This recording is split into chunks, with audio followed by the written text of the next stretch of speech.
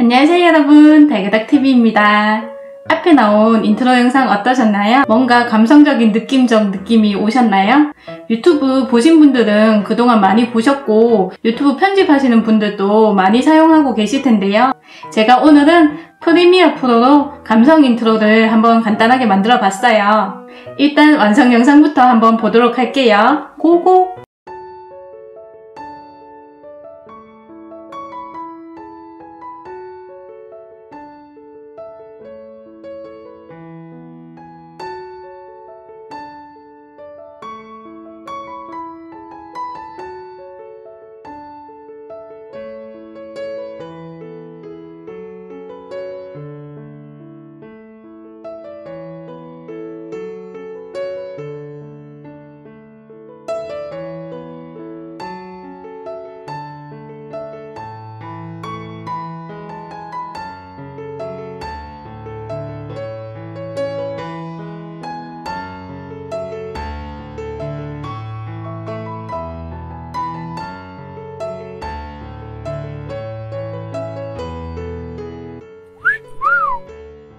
자, 여러분 방금 보신 제가 만든 인트로 템플릿을 무료 공유하려고 합니다. 공유 템플릿을 어떻게 저장해서 내 영상에 적용하면 되는지 다운로드와 사용 방법 지금부터 알려드릴 테니까 영상 끝까지 봐주시고 구독과 좋아요 꼭 부탁드려요.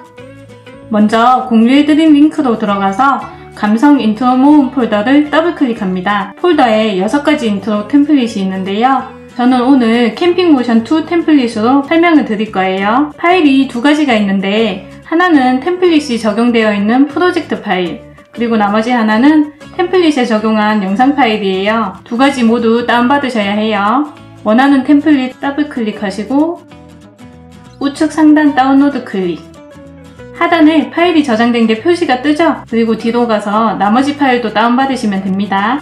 영상 파일 다운받으실 때 뜨는 파일 미리 볼 수 없다는 이 메시지는 신경 안 쓰셔도 돼요. 하단의 저장 파일을 폴더 열기로 실행해 주시고 다운받으신 폴더가 이렇게 나올 거예요. 이건 영상 소스 파일이고요. 이건 프로젝트 파일이에요. 프로젝트 파일을 더블 클릭해서 실행해 주세요.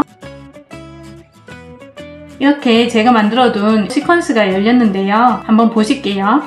검정색 화면에서 서서히 화면과 자막이 보이고 잠시 멈췄다가 화면 전체가 다 보이면 자막이 이제 서서히 사라집니다. 저는 자막을 Where I am, 내가 있는 곳이라고 썼는데 혹시나 다른 자막을 넣고 싶으시면 여기 보이시는 타임라인에 V5가 자막 라인이거든요. V5 자막 라인을 선택하시고 화면에 자막 테두리에 파란 박스가 이렇게 생기면 더블 클릭해주세요. 이제 넣으시고 싶은 원하는 자막으로 수정하시면 됩니다.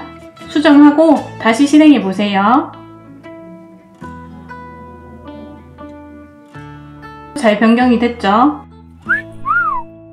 인트로가 완성되었으니까 이제 영상 편집 시작하시면 되는데 인트로에 사용했던 자막을 그대로 영상에도 사용하고 싶으시면 자막을 먼저 선택하고 Alt키 누른 채로 마우스 좌클릭해서 옆 라인으로 드래그 해주시면 됩니다. 그럼 이렇게 사라지는 자막으로 활용이 가능하겠죠?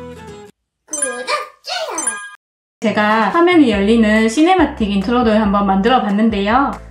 유튜브 편집할 때 인트로 한번 만들려고 하면 간단한 것 같으면서도 시간을 뺏기기도 하잖아요. 그래서 제가 여러분의 편집 시간을 조금이라도 아주 조금이라도 덜어드리고자 제가 만든 인트로 템플릿을 무료 공유합니다. 제가 만든 인트로는 여행 브이로그 또는 일상 브이로그에 사용하면 좋을 인트로 모음이에요. 다운로드 링크는 아래 영상 설명란에 공유해 두었고요. 템플릿에 들어간 영상과 자막 소스는 저작권 무료이니까 출처 밝히지 않고 사용하셔도 돼요. 여러분에게 조금이라도 도움이 됐으면 좋겠네요.